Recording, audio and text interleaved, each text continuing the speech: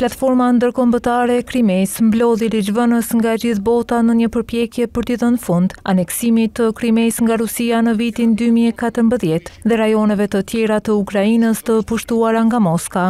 I bashkëorganizuar nga kryetari i parlamentit ukrainas dhe atij kroat, samiti u drejtua nga presidenti i Ukrainës, Vlodimir Zelensky dhe kryetarja e Dhomës së Përfaqësuesve në SHBA, Nancy Pelosi. Përmes një videolidhjeje, Presidenti Zelensky kërkoi që Krimea të kthehet në kontrollin e Ukrainës. Potenciali rus për agresion do të shkatërrohet plotësisht kur flamuri ukrainas të kthehet në vendin e tij të ligjshëm në qytetet dhe fshatrat e Krimesë. Krimea nuk duhet të vazhdojë të përdoret nga Rusia si një urë. E Pelosi dënoi atë që ajo e quajti fushatë e mëtejshme e tmerrit nga presidenti rus Vladimir Putin, për të cilin tha se po e humbet luftën që e nisi në Ukrainë.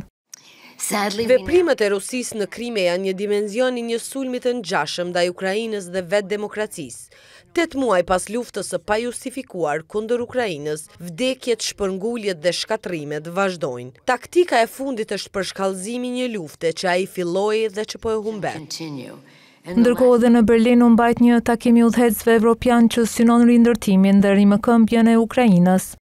Gjatë takimit, kancelari gjerman Olaf Scholz tha se ai po kërkon të krijojë një plan të ri Marshall për shekullin njëzet e një. Plani Marshall ishte një iniciativë e sponsorizuar nga SHBA-ja, që ndihmoi në ringjalljen e ekonomive të Evropës Perëndimore pas Luftës së Dytë Botërore.